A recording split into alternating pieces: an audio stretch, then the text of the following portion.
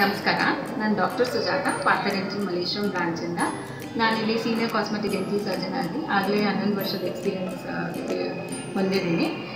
ಎಲ್ಲ ವೀಕ್ಷರಿಗೂ ಇವತ್ತು ಸ್ವಾತಂತ್ರ್ಯ ದಿವಸದ ಶುಭಾಶಯಗಳು. ಇವತ್ತು ನಾನು ಎಲ್ರಿಗೂ ಅನುಕೂಲ ಆಗಲಿ ಅಥವಾ ಹಲ್ಲಿನ ಬಗ್ಗೆ ಇನ್ನೂ ಸ್ವಲ್ಪ ಮಾಹಿತಿ ಸಿಗಲಿ ಅಂತ ಬೇಸಿಕ್ ಆಗಿರೋ ಹಲ್ಲು ಬಗ್ಗೆ ಸ್ವಲ್ಪ ಹೇಳಕ್ಕೆ ಇಷ್ಟಪಡ್ತೇನೆ. ನಮ್ಮ ಹಲ್ಲು ಯಾವ ಥರದ್ದಿರುತ್ತೆ ಒಳಗಡೆ ಯಾವ್ಯಾವ ಪರತ ಇರುತ್ತೆ? ಯಾವ ಪರ್ತನಲ್ಲಿ ಇನ್ಫೆಕ್ಷನ್ ಆದರೆ ಯಾವ ಥರ ಪ್ರಾಬ್ಲಮ್ಸ್ ಆಗ್ಬೋದು ಅನ್ನೋದನ್ನು ನಾನು ಇವತ್ತು ಹೇಳಕ್ಕೆ ಇಷ್ಟಪಡ್ತೇನೆ. ಯಾಕಂದರೆ ಈ ಬೇಸಿಕ್ಸೇ ನಮಗೆ ಮುಂದೆ ಹೆಲ್ಪ್ ಆಗೋದು. ಯಾಕಂದರೆ ತುಂಬ ಜನರಿಗೆ ಹಲ್ಲು ಬಗ್ಗೆ ಏನೂ ಗೊತ್ತಿರಲ್ಲ. ಒಟ್ಟಿನಲ್ಲಿ ಡಾಕ್ಟ್ರೆ ಹಲ್ಲು ಅಷ್ಟು ಇಂಪಾರ್ಟೆಂಟ್ ಅಂಗನ ಅಂತ ಕೇಳ್ತಾರೆ. ಸೊ ಅವ್ರಿಗೂ ದಿನ ನಾವು ಇಷ್ಟೆಲ್ಲ ಕಷ್ಟಪಡೋದು ಎರಡು ಹೊಟ್ಟು ಊಟ ಮಾಡೋಕ್ಕೆ. ಹಲ್ಲಿಲ್ದಿರ ನಾವು ಕಷ್ಟ ಆಗ್ಬೋದು. ಯಾಕಂದರೆ ಅರ್ಧಕ್ಕಷ್ಟು ಅರ್ಧ, ನೈಂಟಿ ನೈನ್ ಪರ್ಸೆಂಟ್ ಅಂತ ಹೇಳ್ಬೋದು. ಡೈಜೆಷನ್ ಆಗೋದು ಬಾಯಿನಲ್ಲೇ. ಸೊ ಹಲ್ಲಿಲ್ದಿರ ಊಟನೂ ಸೇರಲ್ಲ, ಮತ್ತು ನಮಗೆ ನ್ಯೂಟ್ರಿಷನು ಸಿಗಲ್ಲ. ಸೊ ಬನ್ನಿ ಇವತ್ತು ಹಲ್ಲು ಬಗ್ಗೆ ಸ್ವಲ್ಪ ಮಾಹಿತಿಯನ್ನು ಪಡೆಯೋಣ.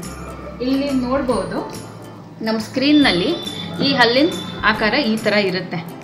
ಇದು ಕ್ರೌನ್ ಅಂತ ಹೇಳ್ತೀವಿ. ಕ್ರೌನ್ ಅಂದರೆ ನಮ್ಮ ಬಾಯಿನಲ್ಲಿ ಕಾಣಿಸುವಂಥ ಬರೀ ಒನ್ ಫೋರ್ತ್ ಭಾಗ. ನೆಕ್ ಅಂದರೆ ಇದು ಸಾಮಾನ್ಯ ಒಸಡಿನಿಂದ ಕ್ಲೋಸ್ ಆಗಿರುತ್ತೆ. ಮತ್ತು ಇದು ತ್ರೀ ಫೋರ್ತ್ ಭಾಗ ನೋಡ್ತಾ ಇರೋದು ಬೇರು ಅಂತ ಹೇಳ್ತೀವಿ. ಇದು ಆಚೆಯಿಂದ ಕಾಣಿಸುವಂಥ ಹಲ್ಲಿನ ಅನಾಟಮಿ ಅಂದರೆ ಈ ಥರ ಆಕಾರ ಇರುತ್ತೆ.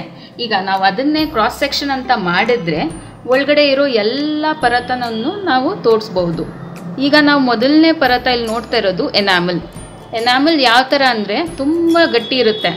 ಇದು hardest part of the body ಅಂತಲೂ ಹೇಳ್ಬೋದು. ನೆಕ್ಸ್ಟ್ ಈ ಯೆಲ್ಲೋ ಕಲರ್ ಕಾಣಿಸುತ್ತೆ ನೋಡಿ, ಹಳದಿ ಬಣ್ಣದ್ದು. ಇದು ಡೆಂಟಿನ್ ಅಂತ ಹೇಳ್ತೇವೆ.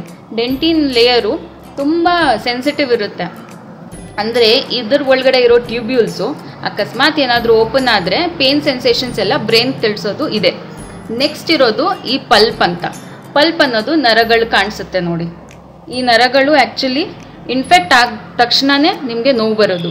ಸೊ ಹಾಗಾಗಿ ನಾವು ಈ ಈ ಪರತವನ್ನು ತುಂಬ ಜೋಪಾನವಾಗಿ ಇಟ್ಕೊಳ್ಬೇಕು. ನೆಕ್ಸ್ಟ್ ಬರೋದು ಒಳಗಡೆ ರೂಟ್ ಕೆನಾಲ್ ಅಂತ ಹೇಳ್ತೀವಿ. ಇದು ಬೇರೆ ಒಳಗಡೆ ಇರುವಂಥ ಭಾಗ. ಪಕ್ಕದಲ್ಲಿ ಈ ಥರ ಒಸಡಿನ ಸೆಕ್ಷನ್ ಕಾಣಿಸುತ್ತೆ ನೋಡಿ. ಇದ್ರ ಪಕ್ಕ ಇರೋದು ಮೂಳೆ. ಸೊ ಇದು ಕನೆಕ್ಟೆಡ್ ಇರುತ್ತೆ ನರ ಒಳಗಡೆ. ಹಲ್ಲು ಒಳಗಡೆನೂ ನರ ಇರುತ್ತಲ್ವ? ಅದು ಕನೆಕ್ಟ್ ಆಗಿರೋದು ಇದರಿಂದ. ಸೊ ಇದು ಒಂದು ಹಲ್ಲಿನ ಅನಾಟಮಿ ಯೂಶಲಿ ಏನಾಗುತ್ತಂದರೆ ಈ ಭಾಗ ಹುಳ್ಕಾಗಿದ ತಕ್ಷಣವೇ ಜನರಿಗೆ ಕಪ್ಪುಗಾಗಿ ಒಂದು ಬ್ಲ್ಯಾಕ್ ಕಲರ್ ಡಿಸ್ಕಲರೇಷನ್ ಅಂತ ಕಾಣಿಸುತ್ತೆ. ಬಟ್ ನೋವಂತೂ ಇರೋದಿಲ್ಲ. ಹಾಗಾಗಿ ಜನ ನಮ್ಮ ಹತ್ರ ಟ್ರೀಟ್ಮೆಂಟ್ಗಂತೂ ಬರೋದೇ ಇಲ್ಲ. ನೆಕ್ಸ್ಟ್ ಈ ಭಾಗಕ್ಕೆ ಹುಳ್ಕು ಹೋದ ತಕ್ಷಣ ಏನಾಗುತ್ತೆ? ಸ್ವಲ್ಪ ಅಮೌಂಟ್ ಜುಮ್ ಜುಮ್ ಸೆನ್ಸಿಟಿವಿಟಿ ಅನ್ನೋದು ಅನಿಸುತ್ತೆ. ಥರ್ಡ್ ಭಾಗ ಅಂದರೆ ಈ ನರದ ಭಾಗ. ಇನ್ಫೆಕ್ಟ್ ಆದ ತಕ್ಷಣ ಏನಾಗುತ್ತೆ? ನೋವು ಬರೋಕ್ಕೆ ಸ್ಟಾರ್ಟ್ ಆಗುತ್ತೆ. ಈ ಬೇರ್ ಕೆಳಗಡೆ ದೊಡ್ಡ ದೊಡ್ಡ ಇನ್ಫೆಕ್ಷನ್ಸು ಮತ್ತು ದುರ್ಮಾಂಸ ಆಗೋದು ಸ್ಟಾರ್ಟ್ ಆಗುತ್ತೆ. ಸೊ ಇಂಥ ಹಲ್ಲಿನ ಬಗ್ಗೆ ನಾವು ಮಾಹಿತಿ ಕೊಟ್ಟರೆ ಜನರಿಗೆ ಅನುಕೂಲ ಆಗುತ್ತೆ.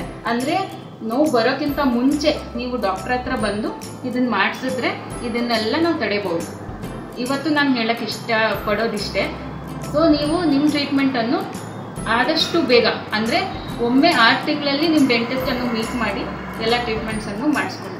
ಧನ್ಯವಾದಗಳು.